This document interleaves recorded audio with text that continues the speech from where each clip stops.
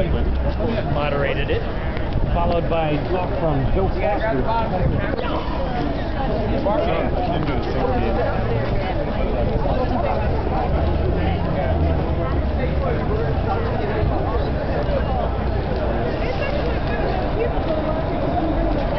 Yeah,